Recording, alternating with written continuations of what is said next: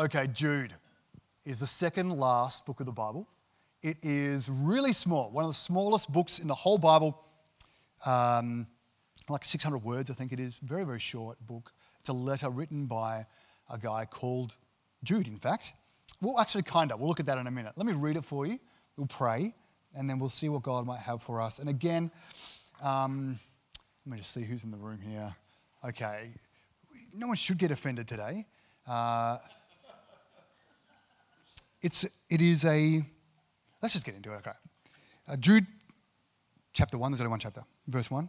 Jude, a servant of Jesus Christ and brother of James, to those who are called, loved by God the Father and kept for Jesus Christ, may mercy, peace, and love be multiplied to you. Dear friends, although I was eager to write you about the salvation we share, I found it necessary to write, appealing to you to contend for the faith that was delivered to the saints once for all.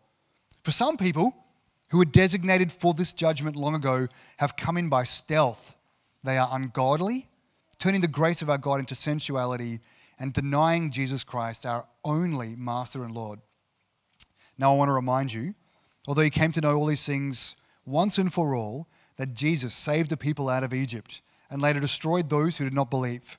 And the angels who did not keep their own position but abandoned their proper dwelling, he has kept in eternal chains in deep darkness for the judgment on the great day. Likewise, Sodom and Gomorrah and the surrounding towns committed sexual immorality and perversions and serve as an example by undergoing the punishment of eternal fire. In the same way, these people, relying on their dreams, defile their flesh, reject authority, and slander glorious ones. You might be thinking, what does that mean to slander glorious ones? It's, like I said, it's going to be an interesting day. Yet when Michael the archangel was disputing with the devil in an argument about Moses' body, he did not dare utter a slanderous condemnation against him, but said, The Lord rebuke you. But these blaspheme anything they do not understand. And what they do understand by instinct, like irrational animals, by these things they are destroyed. Woe to them, for they've gone the way of Cain, have plunged into Balaam's error for profit, and have perished in Korah's rebellion. These people are dangerous reefs at your love feasts as they eat with you without, without reverence.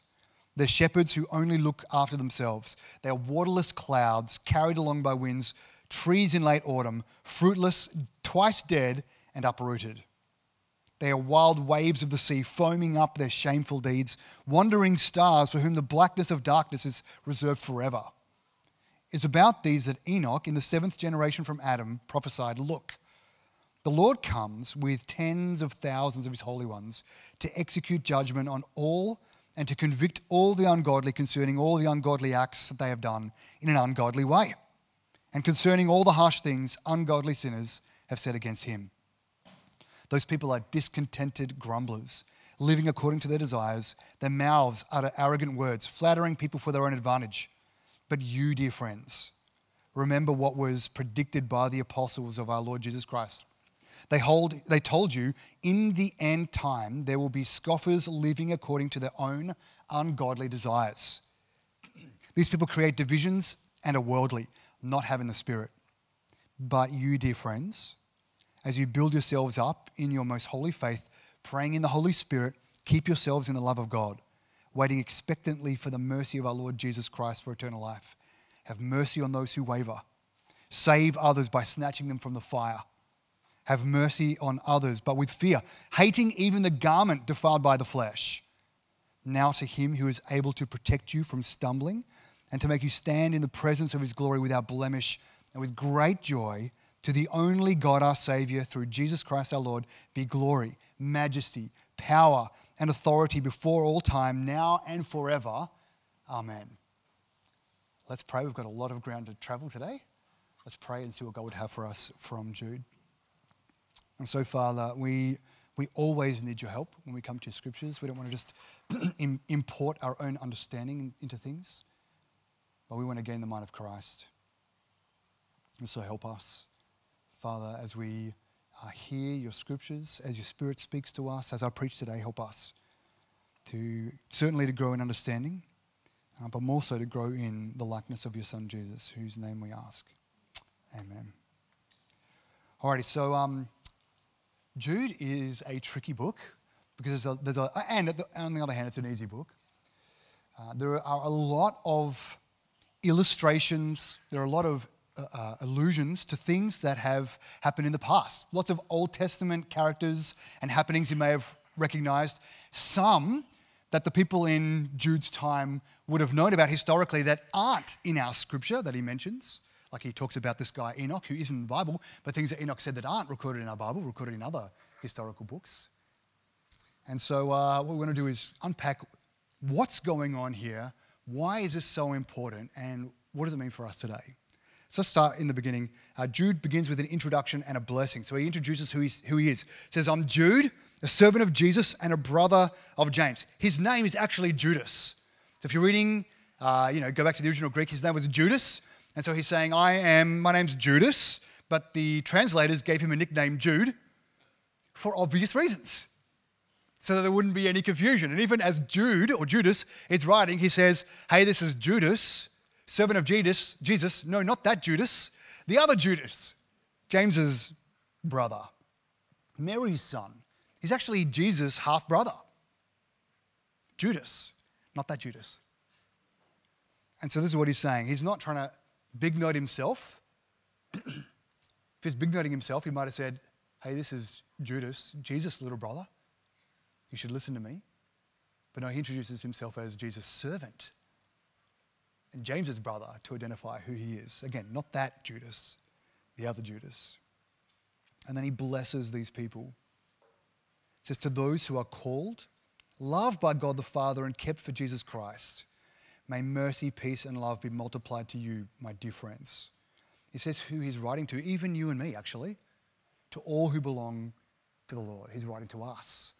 He's writing to people in his own time, specific addressees, like people who needed to hear these words, people who he loved. You can hear the love he has for them right here at the beginning and then at the end. You hear the love that he has. And throughout the whole letter, you hear the serious tone that he has. You don't write seriously for things you don't care about. And he has a serious thing to say to people whom he loves. He says to, to them and to us, remember you are loved by God. Remember, you are loved and secure in God. And may peace and love be multiplied to you, my dear friends. What a beautiful way to start a letter. I bet when they first heard that, they thought, this is going to be a great letter. But then he goes on to say, Man, I wanted to write a much longer letter to you. I love you. I wanted to write a long letter, but I heard about some concerning things that needed to be addressed now. And so here's my memo, here's my short letter to impress upon you the urgency of the matter at hand. So you take it seriously and act on it. And I'll write you a bigger, flowery, beautiful letter later, is basically what he says. And as we go through the letter, you see Jude has packed this short letter with beefy illustrations and meaning, meaning we could genuinely do 10 week series on one chapter, this one chapter. We've done, you know, eight and 10 week series on single chapters of the Bible before. This is one of those chapters we could do that.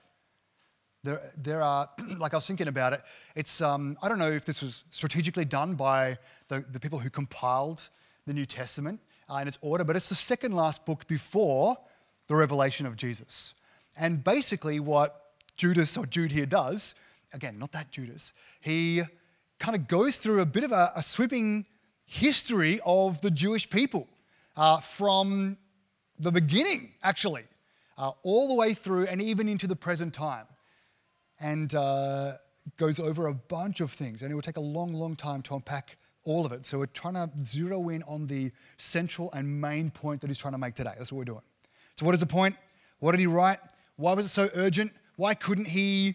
I mean, how long does it take you to write a long letter compared to a short letter? That's how urgent this thing is. Is like, they've got to get this message now. And so he doesn't even wait to the end of the letter to mention it. He frames the whole letter with this one line where he says, I am appealing to you to contend for the faith that was delivered to the saints once for all. He says, You've received it. You have the love and security of God, and may grace and peace be multiplied to you, is how he starts. And he says, But you've got to contend for it. And then he goes on to say what's happening to prompt him to, prompt him to make such a statement so urgently. He says, verse 4 Because, or for, some people who were designated for this judgment long ago have come in by stealth.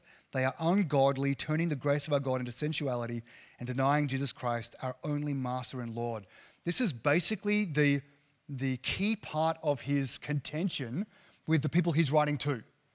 They've allowed people to come into their communities who say they love Jesus, but with their lives display, proudly display, that Jesus isn't their Lord and he's not their Savior. This has been happening for a long time. It's still happening today. I think it's one of the reasons that Jude can so confidently say to everyone who is loved by God, because this letter will be relevant for God's people until Jesus comes back again. Got to be on the watch for people who sneakily, stealthily come into the church. It's been happening for a while. The people in the time of Jude, all the way down to our time today, twisting the gospel in ways that demote or deny Jesus, replacing him with their own ideas. Specifically in this case, Jude is talking about people who turn the grace of God into license for sensuality. So Paul writes to the Romans. If you're doing, um, uh, if you're doing Bible in the year, uh, you'll have read this yesterday, actually. Paul writes to the church in Rome, saying, Can we now just go about sinning as we want so that grace can be more powerful? Do we go on sinning? Do we have grace? And grace covers over all of our sin, and grace is wonderful and glorious. And grace and peace be multiplied to you. So then, do we just go on sinning? Because we know if we sin more, then that means there's necessarily more grace, and grace is glorious. So let's get all the grace we can by just going and doing whatever the heck we want. And Paul says, Hell no. Your version probably says, By no means. That's a weak translation. These false teachers, Jude's talking about, they're coming in saying, Oh, you do you. You do you. Just, just follow your heart, actually. Why would God give you that desire unless it's a good one? Go for it. Love is love, after all. You deserve this, actually.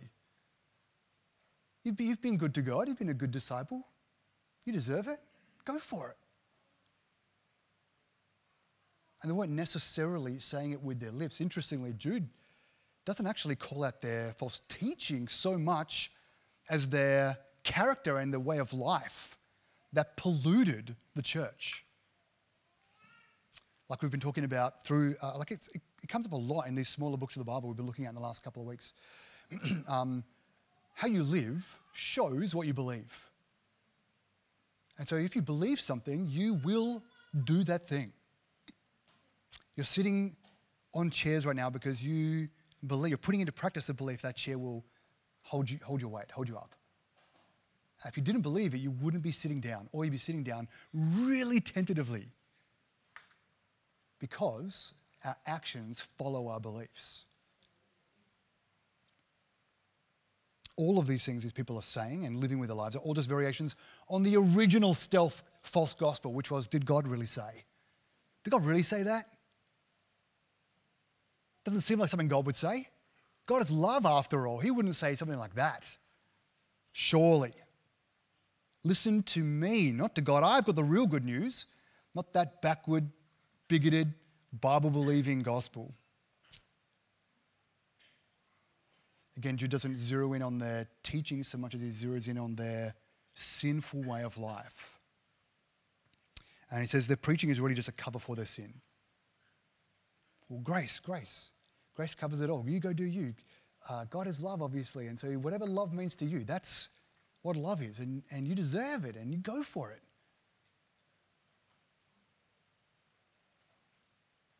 The preaching is just a cover for their sin. And then Jude shows them this isn't anything new. He says, Hey, remember back when God saved his people out of Egypt, and then they rebelled against his order so that none of that generation made it to the promised land. Remember that? And God saved them and redeemed them, and then they rebelled. Remember that? And then none of them, they all underwent judgment, and none of them went into the promised land. He goes, Oh, remember, remember back in uh, you know, Genesis 6 or the book of Enoch, which you may not have ever heard of, but Jude, he refers to it. He Because remember how there were those divine beings, uh, angels or celestial beings are supposed to serve Yahweh in his rule and run of the earth, but instead went against God, God's order and took human wives? Remember them? They elevated their sexual desire above God's order, not just rejecting God's order, but abusing their authority to gratify their sexual desires. So remember those guys? They're now in chains, in gloomy darkness, waiting for the day of judgment. Because remember Sodom and Gomorrah? Who went against God's order, suffering the punishment of eternal fire? Again, man, so many things I would love to say about these things, which we just don't have time for today. Stick to the main point. Uh, in the previous case, celestial beings desiring sex with human beings. In this case, human beings desiring sex with celestial beings. Does remember what happened to them? So these false teachers, they're sneaking into the church. They're just like those people. They're doing the same kinds of things as those people. And they're in the church. Says, verse 8, in the same way, these people, relying on their dreams, so stuff that they come up with themselves, defile their flesh, reject authority, and slander glorious ones. So they're doing the same kinds of things that consistently throughout history and scripture are shown to be against God, against his order, and ultimately and always lead to destruction and judgment. Because they won't get away with it, but they're going to wreck a lot of lives along the way if you don't contend for the faith.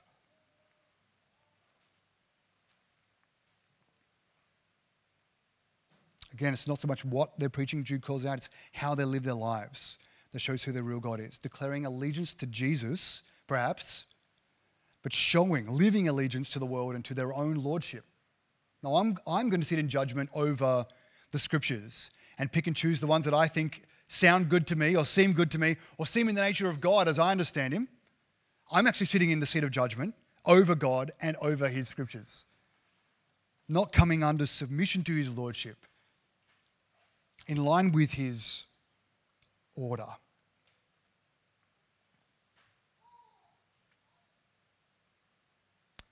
Uh, there's another example here uh, from a text, another text similar to the first century Jews, but again, not in the Bible. Um, and like 2 Peter calls out false teachers, he says they're like animals operating according to their instinct, but not according to God's order and lordship. Uh, Jude inserts this part about Michael and the devil having an argument about Moses' body, which you might, you might be hearing for the very first time right now. I promise you this is in the Bible. And he, he goes, uh, he finishes this argument by saying, These people blaspheme anything they don't understand. They blaspheme the Spirit of God, His servants, His ways, His order, His lordship, His justice, anything they don't understand. And what they do understand, they understand like animals, just by instinct. And even this, uh, this will lead to their destruction. Because even their instinct is against God and His ways.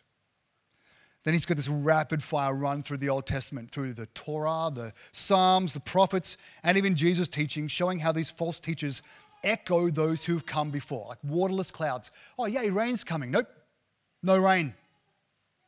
Looks good, but it's a trick. They are stealthily coming in, looking great, and then not just leading to their own destruction, but taking others with them unless we contend for the faith. Is what he says about it. He says, Woe to them They've gone the way of Cain. They've plunged into Balaam's error for profit. They've perished in Korah's rebellion. All stories that would have been very familiar to Jude's original addressees and hearers. You may be familiar with some of these as well. These people are dangerous reefs at your love feasts as they eat with you without reverence. Shepherds who only look after themselves. Again, all of these lines might be reminding you of Old Testament stories. They're wild waves of the sea, or Psalms, foaming up the shameful deeds, wandering stars for whom the blackness of darkness is reserved forever. It was about these that Enoch in the seventh generation from Adam prophesied Look, the Lord comes with tens of thousands of his holy ones to execute judgment on all and to convict all the ungodly concerning all the ungodly acts they've done in an ungodly way, concerning all the harsh things ungodly sinners have said against him. So, again, they have weaseled their way, snuck their way into Christian community because the Christians heard what they were saying with their mouths, yes, Jesus is Lord, and did not correct, rebuke, or even started to join them in their lives, echoing not and not being obedient with God's order and commands, but rather with their own instinct and their own ways. Says people are discontented grumblers, living according to their desires. Their mouths utter arrogant words, flattering people for their own advantage. He's got very harsh words to say about these people. He's kind of picking, he's picking all of the Old Testament like, uh, like the, the, not the honor roll, like the dishonor roll of the Old Testament. Okay, these people are like those people. Stop listening to them, stop following them. Because we've seen every single time it leads to destruction. Every single time. There's, there is no rebelling against God that leads to overcoming the Creator God who breathes and galaxies come into existence. There's no overcoming that. And He's not just mighty and not just powerful, He's loving and merciful.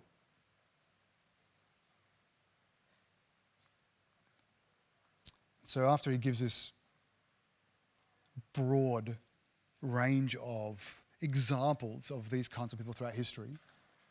Now he said, Why we who belong to Jesus must contend for the faith. Uh, he finishes with a couple of but yous. It's like these people are like Cain. These people are like the ones who died in Korah's rebellion. These people are like animals, just going on their base instincts. But you, he says, but you, dear friends, remember what was predicted by the apostles of our Lord Jesus Christ. They told you in the end times, quoting now, they told you in the end time there'll be scoffers living according to their own ungodly desires. It's from 2 Peter. These people create divisions and are worldly, not having the Spirit. So it says, don't be like those people, but you, or they, you know, these people are going to, to death and destruction and bringing lots of people with them, but you, remember don't be surprised when people come preaching another gospel. Jesus told us this would happen. Don't be surprised when people scoff. The apostles told us this would happen. Jesus too. Don't be surprised when people live according to their own ungodly desires. Jesus told us this would happen. Don't be surprised when people create divisions for their own pride and glory, for their own power, for their own purposes, for their own preferences, for their own platform, for their own pockets. Jesus and the apostles told us this would happen. Remember, we were told this was going to happen.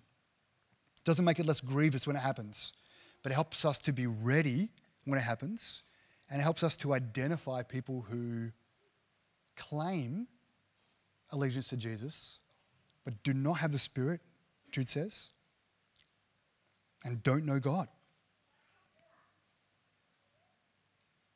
What are we to do? I think the first thing we need to do is ensure we are not one of those kinds of people. Like Paul writes to the church in Corinth, he says, Test yourselves to see if you're in the faith. Examine yourselves. Or do you yourselves not recognize that Jesus Christ is in you unless you fail the test? The people who fail the test, they need the gospel. They need to hear the truth of Jesus and his love for them, his saving work. Their actions need rebuking, and their ideas need to be contended with. So people who are a law unto themselves need the gospel, they need the good news. Their sin needs rebuking if they claim to be in Christ. And their ideas need to be contended with. They can't go unchallenged because if truth goes unchallenged, we've seen this actually in Titus, it takes other people down with it. He gives a second, but you. But you, dear friends, again, don't be like people who are law unto themselves. Don't be like people who just, according to my own understanding, my best guess, this is what I think things should be like, and now I sit in the seat of judgment over God and His scriptures. Says, But you, dear friends, as you build yourselves up in your most holy faith, praying in the Holy Spirit, keep yourselves in the love of God, waiting expectantly for the mercy of our Lord Jesus Christ for eternal life. Have mercy on those who waver save others by snatching them from the fire, have mercy on others, but with fear, hating even the garment defiled by the flesh. So again, he says, But you, firstly, remember. We were told all of this was going to happen, remember. And secondly, but you build yourselves up in the faith. How will you not be a person who just operates under your own understanding? Just build yourself up in the faith. How will you be a person not lured away by somebody else's life who says, Yeah, I belong to Jesus and I can do whatever I want to do? Build yourself up in the faith. Don't let the deceitfulness of your own flesh or somebody else's sneaky words seduce you into thinking your actions don't matter. It says, grow in your trust and allegiance to Jesus. Trust in and allegiance to Jesus. Secondly, it says, pray in the Spirit, not like vain wishes into the air, but weak words spoken to a powerful God. You don't need power prayers. We have a powerful God. Like we saw when we did spend, you know, 10 weeks going through one chapter, Romans 8, we saw when we give our weak words, the Holy Spirit intercedes on our behalf and presents them to the Father as we should have said them. And so pray in the Spirit. Next, keep yourselves in the love of God. Don't go chasing other loves. Don't make the mistakes of those examples that he pulls from the Old Testament of people who elevated their own desires above the desire for the love of God. Next, wait expectantly for mercy from Jesus for eternal life. So even when it's hard, even when the wait seems long, even when things don't seem fair or aren't fair or have been terrible, says that doesn't last forever. He doesn't say don't do something about it now. He says the greatest mercy is from Jesus. The mercy is assured. When he comes again, he's bringing eternal life or life eternal with him. Next, it says, Give mercy to those weaker than you, but no mercy to the sin that would kill them. So, mercy on a little bit of sin leads to mercy on a lot of sin, leads to the urgent situation in the church that Jude is writing about in this letter. People need mercy. I need mercy. We need mercy. I mean, really desperately, all the time. Uh, certainly, from uh, our godly perspective, like our holiness perspective, we, without Jesus, desperately need mercy. And He gives us mercy. And so we need to give or extend mercy to others. We have to. We can't not give mercy because we've been given mercy. We can't not forgive because we've been forgiven. We can't not extend mercy because we have been extended mercy. But sin doesn't need mercy. Sin doesn't get mercy. Sin needs rebuking, correction. Sin is a cancer that will kill the person who coddles it and the community that coddles it. Mercy on sinners, rebuke and correction on sin. Jesus died because of our sin, so that our sin would die with him. We don't want to go and pick that up again. Sin is for killing, not for coddling. And then he says, and save others by snatching them from the fire. So don't stand back as a brother or sister runs into the fire, but go before they get there and snatch them out of the fire. So he's saying there are no passive brothers or sisters. There's no passively contending for the faith. There is active contending for the faith. That's an active kind of mercy to run and save someone's life from the fire. How, how dare we sit back and say, well, that's their choice. A little bit of sin. We have instructions for how to deal with that in terms of, you know, once and twice and three times and uh, escalating and things like this. But he says, man, we are beholden to one another. We're members of one another. We have mercy on one another. Not to say, oh, I deserve it so I can go sin, and not to say, oh, they deserve it because of their action or inaction, but rather we would step in and say, hey, I love you. You are running towards the fire. He says, contend for the faith. Not just leaders in the church, not just elders, although certainly elders, it's certainly leaders, but all of us. All of us need to grow up in the faith. All of us need to pray in the Spirit. All of us need to reject and kill and put to death the flesh and the things of the flesh. All of us need mercy and need to give mercy. All of us, I mean, we need to keep ourselves in the love of God. Have to. So the, life is only found there. We need to wait expectantly for mercy from Jesus for eternal life. And we all need to actively be snatching brothers and sisters from the fire. Again, loving, merciful uh, towards the person, and correction, rebuke, death to the sin. And last, he finishes this letter with a benediction. Uh, I grew up actually singing this uh, in church. You may have too. I heard it's from the 70s, so we're not going to sing it today. It says, Now to him, man, it's, oh, it's beautiful though. Hear the, hear the power of this. Now to him who is able to protect you from stumbling and to make you stand in the presence of his glory without blemish and with great joy. You know, uh, sin cannot stand in the presence of God. There's another in a long list of reasons we want to kill and get rid of sin and not play with it, not cuddle it, not coddle it, uh, not get cute with it. We kill it because sin cannot stand in the presence of God. But God has washed us clean so that we can stand in his presence without blemish and with great joy. It says, To the only God our Savior, through Jesus Christ our Lord, be glory, majesty, power, and authority before all time, now and forever. Amen. We have a really wonderful God, really powerful God, really loving God. He, like all the stories you heard are true, He, he loves us and He saved us. Jesus came and did everything necessary for us to be washed white as snow, absolutely clean, no stain remaining, no shame remaining on us. Every blemish gone. In the sight of God, perfection as He looks at you because we're in Christ. And when Jesus comes, again, eternal life forever in the presence of God the Father because we have no spot, no blemish, because we're in Christ. So we don't want to play cute with sin, please.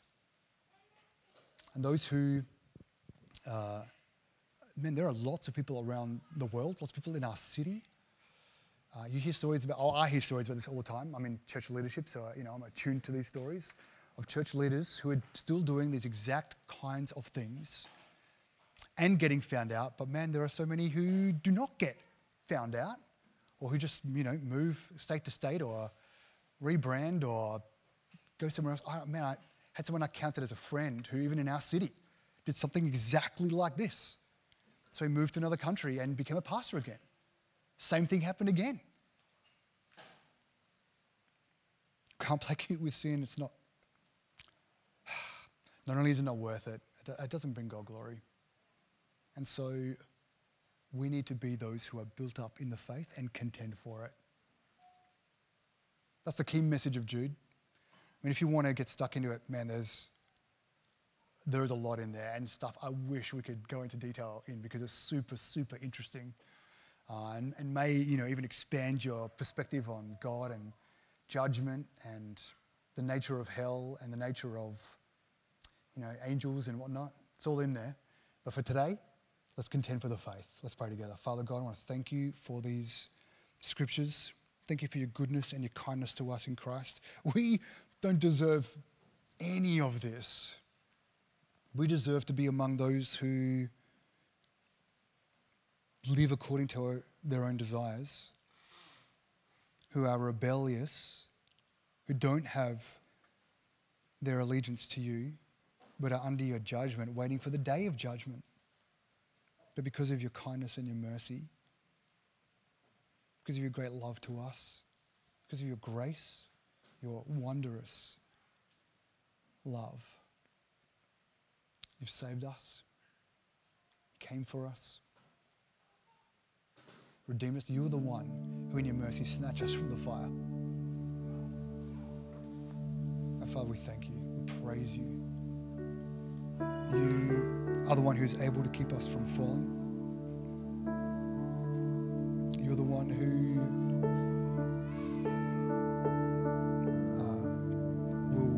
have us stand in your presence, pure and spotless, without blemish, with great joy. And so today we say to you, our Savior, glory and majesty, power and authority before all time, certainly now and for forever.